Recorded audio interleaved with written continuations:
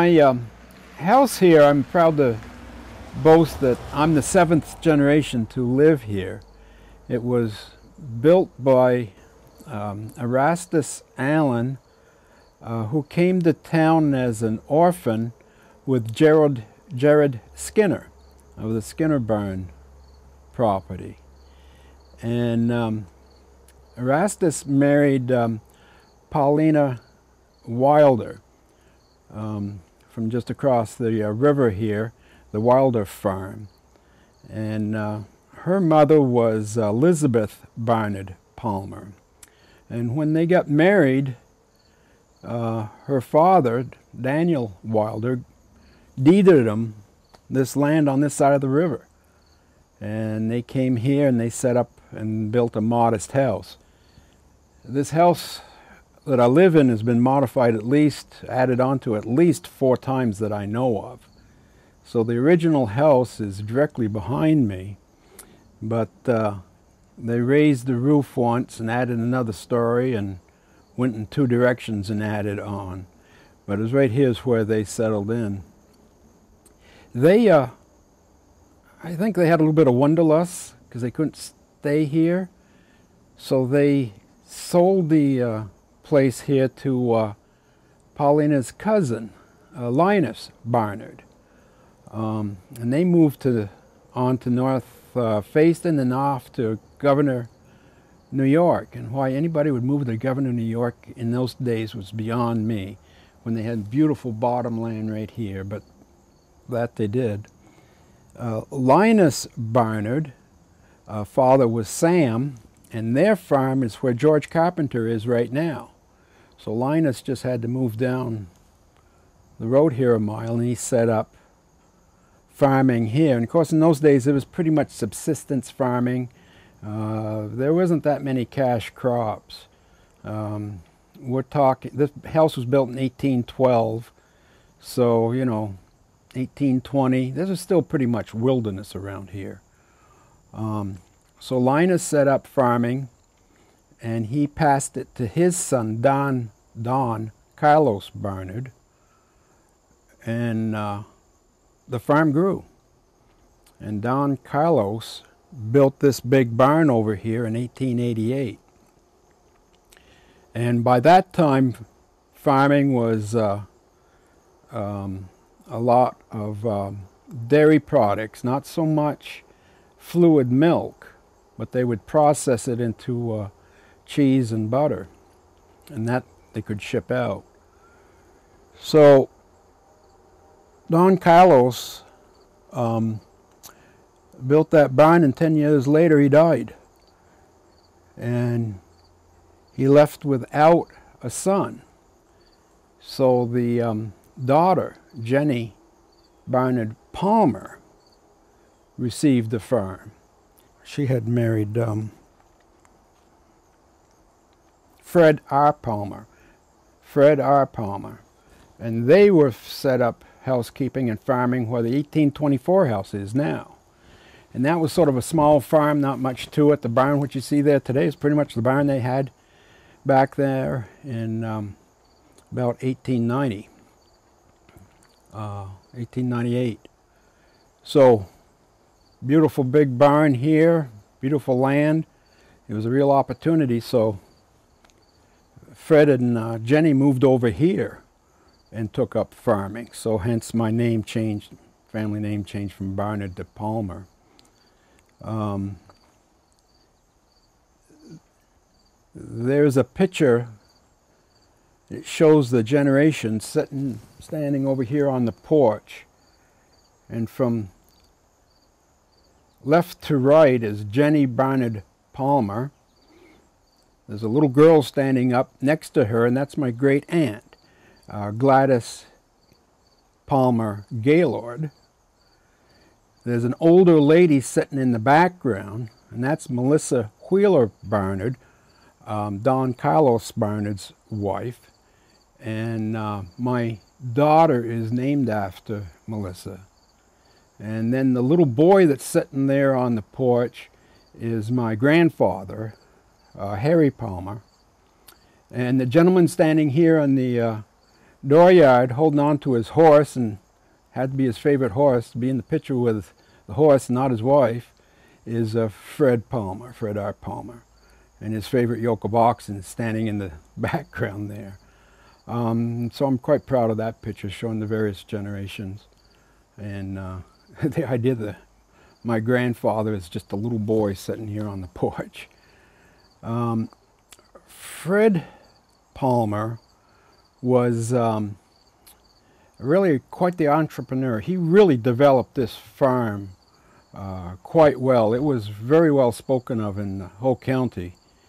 He um, had his um, Guernseys, most of them were registered, and like I just said, they um, couldn't sell fluid milk at that time because there was no refrigeration, they couldn't move it. But he'd sell the cream. And the cream he would take over to where Dave Hartshorn has his uh, vegetable stand. There used to be a creamery right there. He used to take it over there and it was processed. Um, the skim milk Fred would take and uh, feed hogs. He'd feed them all summer long and fatten them up and everything. And then come, uh, come fall, he would uh, slaughter them. My aunt Gladys talks about that event every year and how she didn't mind helping after the hogs were killed because they squealed terribly, she said, when they were killed. And he would, um, they'd wait till cold weather uh, to do this, and they'd slaughter them one day and have them, and he'd put them on his big lumber wagon he had, and by horses he went down to Middlesex to meet, meet the uh, ice train that he would load them onto and they'd take them down to Boston and were sold. So he had cream, he had milk, uh, he had um, hogs. He did a lot of sugaring. He sugared both ridges here. Um, the ridge over here is Mount Waitsfield and he sugared there and also up behind the Wilder farm. Um, he had owned property up there and there was also some relative property he sugared there. And there wasn't much of a market for uh, syrup in those days, but there was a huge market for sugar. So he would boil all of his uh, syrup down to sugar and put them in wooden, wooden um, buckets that were made right here in Waitsfield, um, right by where Reggie Orr has his little shop there. Um, there used to be uh, a little bit of a mill right there and a Cooper Smith shop.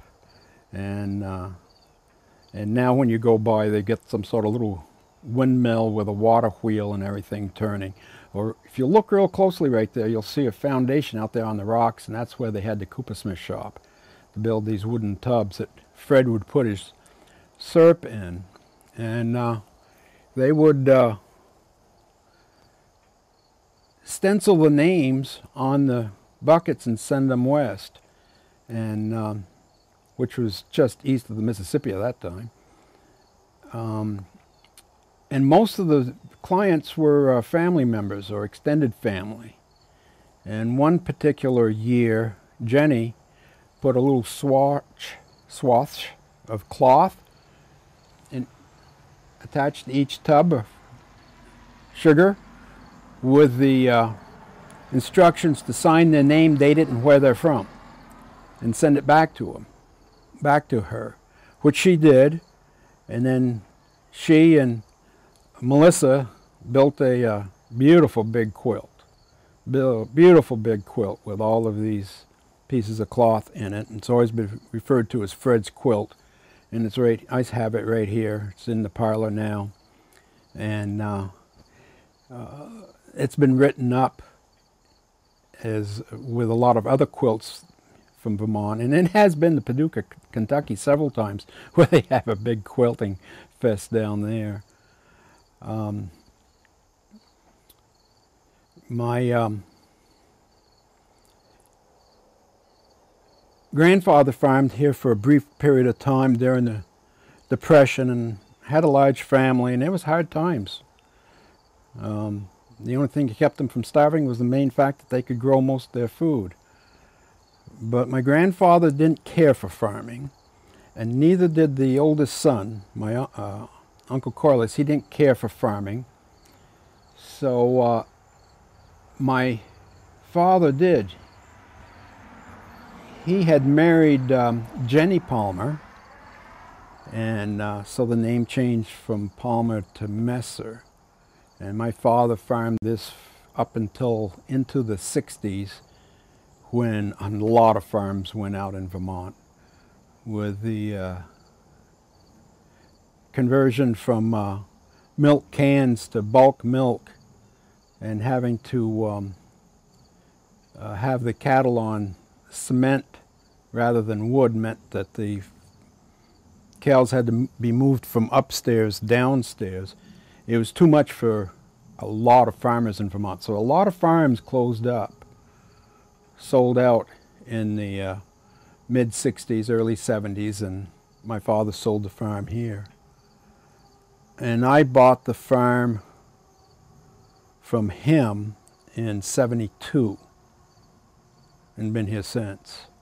Never farmed, play farmed a little bit, but um, my occupation I worked for Mad River Glen for 10 years and then I went full time with the Vermont Army National Guard and that was my vocation throughout my career. So I have it set up now so that my daughter, Melissa, will have this farm when I check out of the net. So she'll be obviously the eighth generation and the ninth generation just turned 13 here the other day and I'm hoping that that'll be continued here a while longer.